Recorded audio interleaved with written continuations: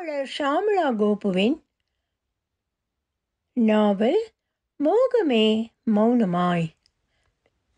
ஒலிவடிவம் சரஸ்வதி தியாகராஜன் பாஸ்டன். அத்தியாயம் இருபத்தி ஒன்று. தஞ்சாவூர் சாலையில் அந்த வில்வண்டி எப்போதையும் விட வெகு வேகமாக ஓடிக்கொண்டிருந்தது. அதே வண்டி சுந்தரத்தின் பழைய வில்வண்டி இப்போது கதிரவன் அவனே முதலாளியாக ஓட்டிக் கொண்டிருக்கிறான் முன்பை விட தஞ்சாவூர் நகரம் பெருத்தேக்கிறது அநேகம் பேருந்துகள் சைக்கிள்கள் புல்லட்டுகள் ஒரே இரைச்சல் கடை கண்ணிகள் இளம் பெண்கள் பாவாடை சட்டை தாவணியில் கைகளில் புத்தகங்களை சுமந்து குடையால் முகத்தை மறைத்து கொண்டு சாலையில் நடந்து போன காலம் போய் இப்போது சுடிதார் அணிந்து போய் கொண்டிருக்கும் காலம் போலும் அந்த காலை வேளையில் வானம் மேகமூட்டத்துடன் இருந்தது. அதுவும் கதிரவனின் வண்டியுடனே மேகங்கள் நடைபெய்ந்து கொண்டிருந்தது. ஒரு மழைத்துளி பொட்டென்று அவன் கையில் பட்டு தெரித்தது வானத்தை அண்ணாந்து பார்த்தான். மேகம் கருத்திருந்தது. வண்டியை விரைவுபடுத்தினான். இதுபோல் ஒரு நாள் மீராவின் வீட்டில் கதிர் வெட்டி போட்டிருந்த விறகு கட்டைகளை குளியலறையில் பரன் மேல் அடுக்கிக் கொண்டிருந்தான். வெளியே தோட்டத்தில் காயப்போட்டிருந்த துணிகளை எடுத்துக்கொண்டு வருவதற்காக தோட்டத்திற்கு வந்த மீராவின் பின்னாலேயே மழைச்சாரலாக ஆரம்பித்து அவள் துணியை எடுத்துக்கொண்டு வீட்டிற்குள் ஓடி வருவதற்குள் வலுத்து விட்டது. எனவே அவள் வீட்டிற்குள் நுழையாமல் நடுவில் இருந்த குளியலறைக்குள் நுழைந்து விட்டாள். அங்கே ஏற்கனவே இருந்த கதிர் இவளை கண்டதும் தான் ஏறி இருந்த நாற்காலியில் இருந்து இறங்கி அவளை நெருங்கி நின்றான். மீரா தனிமை தாபத்தை கொடுத்திருந்தது. நீ இங்கே என்ன பண்ணிக்கிட்டு இருக்க? விறகு அடிக்க கொண்டிருக்கிறேன். நேற்று ராத்திரி அத்தனை ஜொரோன்னு சொன்ன இப்போ வேலை செய்ய கிளம்பிட்ட கொஞ்சம் ஓய்வு எடுக்கலாம் இல்லையா? ஜுரம் சரியாக போச்சு. ஓ அப்படியா? ஆனால் இப்போ திரும்பி ஜுரம் வந்துருச்சு. சொன்னவன் அவளை மிகவும் நெருங்கி அணைத்து கொண்டான். வரும் வரும். ஆளை பாரு மீரா. என்னை கல்யாணம் செய்து கொள் மீரா. அவளை அணைத்திருந்தவன் தன்னோடு இறுக்கிக் கொண்டான். மூச்சு முட்டியது அவளுக்கு. என்ன வலிமையான கைகள். அவன் உயிரில் அலை அடிக்கும் தவிப்பு அவளுள் தகித்தது. மீராவின் மனம் பாகாக கரைந்து அவனிடம் சரணடைந்தது. அவன் தோளில் சாய்ந்து இருந்தவள் அவனை தன் இரு கரங்களாலும் சேர்த்து அணைத்து கொண்டாள். கதிர் அன்னைக்கே சொன்னேன் என்னை கல்யாணம் செய்து கொள்ள வேண்டும் என்று நினைப்பதை விடு. நல்ல பெண்ணாக பார்த்து கல்யாணம் பண்ணிக்கொள். அவனோடு தன்னை கூட்டிக் கொண்டு போகுமாறு இன்னும் கொஞ்சம் நாட்களில் அவள் சொல்லக்கூடும் என்றோ அதை கேட்டுக்கொண்டிருந்த அமிர்தம் கதிரவன் மனம் நோக பேசி அவனை விலக்கி விடுவாள் என்றோ நினைத்திருக்காத காலம் அது. அந்த அழைப்பு மட்டுமே பிரதான நினைப்பாக கொண்டு இத்தனை நாட்களும் காத்திருந்தான். நாட்கள் மாதங்களாக ஆனதையோ அது வருடங்களாக தொடர்ந்ததையோ எண்ணி பார்க்க இயலாத சூன்யத்தில் நிலைத்திருந்தான். யாரோ அவனை கைகளில் விலங்கிட்டு காலம் என்னும் மிகப்பெரிய இரும்பு தூணுடன் கட்டி போட்டிருந்தது போல கட்டுண்டு உட்கார்ந்திருக்கிறான். நாட்கள் ஓடுகின்றன. ஒரு சம்பவமும் நிகழவில்லை. மகிழ்ச்சியில்லாத வெறும் சூனிய வாழ்க்கை. ஆனால் யாரையும் குறை சொல்லாமல் அதை அப்படியே ஏற்றுக்கொண்டிருக்கிறான். அதிலிருந்து தான் விடுபடணுமே என்ற நினைப்பே இல்லாமல் வெளிச்சம் வரும் வழி தெரியாமல் இருட்டிலேயே பார்வை பதிந்து கிடக்க அதனுடனேயே தன் சுயம் மறந்து கிடந்திருக்கிறான்.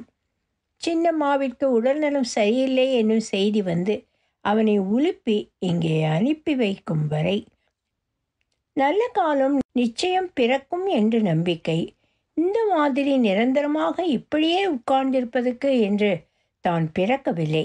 தன் விலங்கை தளர்த்தி தான் விடுபடும் நாளை எதிர்பார்த்து காத்திருக்கிறான். இந்த நிலை சற்று உற்சாகமாக கூட இருக்கிறது. காத்திருப்பதற்கு என்று ஒரு காரணம் இருக்கும்போது அந்த காரணமோ தன்னுடைய உயிரையே தனக்கு திருப்பி கொடுக்கக்கூடியதான ஒன்று என்றான போது காத்திருப்பதே ஒரு தவமாகித்தான் போயிற்று கதிரவனுக்கு. இப்போதெல்லாம் அருகில் உள்ள பெண்கள் பள்ளியில் டாக்டர் ஜெயந்தியின் சிபார்சினால் வேலைக்கு போய்க் கொண்டிருக்கிறான். டாக்டர் மீரா பிஹெச்டி மெடிக்கல் படித்தால்தான் டாக்டரா? ஆராய்ச்சி மாணவியாக பதிவு செய்து கொண்டதிலிருந்து படித்து முடித்து பட்டம் வாங்கும் வரை ரெங்கராஜன் சாரும் வத்சலா அம்மாவும் உடன் இருக்கிறார்கள். மாலையில் அக்கம்பக்கத்தில் இருக்கும் குழந்தைகளுக்கு சங்கீதம் கற்றுக் கொடுக்கிறாள் டியூஷன் எடுக்கிறாள். அவ்வளவு ஏன்? சின்னஞ்சிறு குழந்தைகளுக்கு அமிர்தம் நடனம் கற்றுக் கொடுக்கிறாள். ஒரு காலத்தில் இந்த பெரிய வீட்டிற்குள் யாருமே வருவதில்லை. ஆனால் இப்போதோ சிறுமிகள் மாணவிகள் மட்டுமல்லாது தோட்டத்தில் சாமிக்கு பூ பறிக்க பெண்கள் என்று எல்லா வயது பெண்களும் சகஜமாக வந்து போகும் இடமாகி போயிற்று அந்த வீடு. அமிர்தத்துக்கு பொழுது போதவில்லை. தன்னையும் தன்னுடைய உடல் உபாதைகளையும் முற்றிலும் மறந்தவளாக அக்கம்பக்கத்து வீட்டு பெண்களுடன் நட்புறவுடன் தெருவில் அநேக சமூக நலன் சார்ந்த காரியங்கள் மற்றும் ப- பஜன்ஸ் என்று தன்னை முழு மூச்சுடன் ஈடுபடுத்திக் கொண்டிருக்கிறாள். உலக நடப்பும் நாட்டு நடப்பும் தெரிகிறது. சிந்தனையில் நல்ல தெளிவு இருக்கிறது. உலகம் செல்வம் சார்ந்தது மட்டுமல்லாமல் மனிதம் சார்ந்ததும் கூட என்பதை உணர்ந்திருக்கிறாள். தெருவில் மிகவும் முக்கியமான பெண்மணி இப்போது அவள். அவளுக்கு வயதானாலும் அவளுடைய நிறைந்த பெண்மைக்கு மதிப்பு இருக்கிறது. அதில் அவளுக்கு மனநிறைவும் உண்டாகி இருக்கிறது. அத்தனையும் மீராவினால் அவளுடைய படிப்பினால் ஒரு பெண்ணிற்கு கல்வி கொடுப்பதினால் நாம் ஒரு சந்ததியை உருவாக்குகிறோம் என்று தந்தை பெரியார் சொன்னது எத்தனை உண்மை! இத்தனை வருடங்களாக அவளுக்காக கட்டுண்டு காத்திருந்து பெரிதாக தெரியவில்லை. கதிருக்கு அதைவிட நீண்டதாக இருந்தது தஞ்சாவூருக்கு போகும் பாதை. என்னவோ போன பிறவியில் தொடங்கிய இந்த வில்வண்டி பயணம் இந்த பிறவியிலும் தொடர்வதாக மனமயக்கம் ஏற்பட்டது அவனுக்கு. எப்போது இந்த பயணம் முடியும்? மீராவை பார்ப்போம் என்று மனது பரபரத்தது. தஞ்சாவூரில் மீராவின் வீட்டில் போர்ட்டிகோவில் வந்து வண்டியை நிறுத்தினான். தோட்டக்காரன் ஓடி வந்து யாருங்க? என்ன வேணும்? நீங்கள் பாட்டுக்கு திறந்த வீட்டுக்குள்ளே ஏதோ நுழைஞ்ச மாதிரி. நாயின்னு சொல்கிறீங்களா தோட்டக்காரரே? அந்த குரலும் விதமும் அவருக்கு ஏதோ சந்தேகத்தை கொடுக்கவே அவன் அருகில் சற்று நெருங்கி நின்று அவனை உற்று பார்த்து அடையாளம் கண்டு கொண்டு விட்ட நிலையில் கொஞ்சம் அதிகப்படியான உற்சாகத்துடனே கேட்டான் ஏன்பா கதிரு இன்னுமா இந்த வில்வண்டியில் வருவ? இதை மறக்க முடியுமா? மொத முதல்ல இந்த வீட்டுக்கு நான் வந்ததே இந்த வண்டியில் தானே. எத்தனை நாள் இரவு இந்த வண்டியில் படுத்து உறங்கி இருக்கேன் நிலாவை பார்த்து கொண்டு மனதிற்குள் ஜன்னல் நிலாவை என்று நினைத்து தனக்குத்தானே சிரித்து கொண்டவனாக பேச்சு குரல் கேட்டு வெளியே வந்த அமிர்தம் யார் அது? என்றாள். கதிர் அவளை முழுமையாக ஒரு நீண்ட வினாடி எடுத்துக்கொண்டு பார்த்தான். அப்படியே இருக்கிறாள். என்ன பரன் மேலே இருந்த பித்தளை அண்டாவைப் போல கொஞ்சம் மங்கித் தெரிகிறாள். கதிரவன் எந்த கதிரவன்னு கேட்டுடாதீங்க. சுந்தரலிங்கத்தின் வண்டியை ஏன்பா உன்னை போய் யாருன்னு கேட்டுருவேனா? ஆனால் ஆளையும் உடுப்பையும் தோரணையும் பார்த்து யாரோன்னு நினச்சிட்டேன். ஓ அப்போ நான் தோரணையாகத்தான் இருக்கிறேன். இல்லையா பின்ன? சும்மா சீமதுரை போல இருக்க. சிராகித்து கொண்டவளாக இந்த தோரணை போதுமா? நீங்கள் கேட்ட அளவுக்கு இருக்கா? ஏனப்பா உங்கள் ஊர்லேருந்து இந்த வண்டியிலேயே வந்துட்டியா? இப்போதெல்லாம் இங்கே யார் இது போல் வண்டி வச்சுருக்காங்க? தோட்டக்காரனின் சொல்லுக்கு அமிர்தம் தலையை ஆட்டி ஆமோதித்தாள். சரி அப்போ நான் போய் பிரமத்கார் கொண்டு வரவா? அப்போவாவது நம்புவீங்களா? எனக்கு அந்தஸ்து வந்து விட்டது என்று. ஏன் கதிரி என்னை கொல்ற? அன்னைக்கு என் சூழ்நிலை என்ன? அது போல் பேச வைத்தது. இன்றைக்கும் அது போல் கேட்பேனா? என் கேள்விக்கு பதில் சொல்லுங்க. அதான் அப்பமே சொல்லிட்டேனே. சீமத்தோட போல இருக்கேன்னு. எத்தனை வாட்டி சொன்னாலும் எனக்கு கேட்கணும்.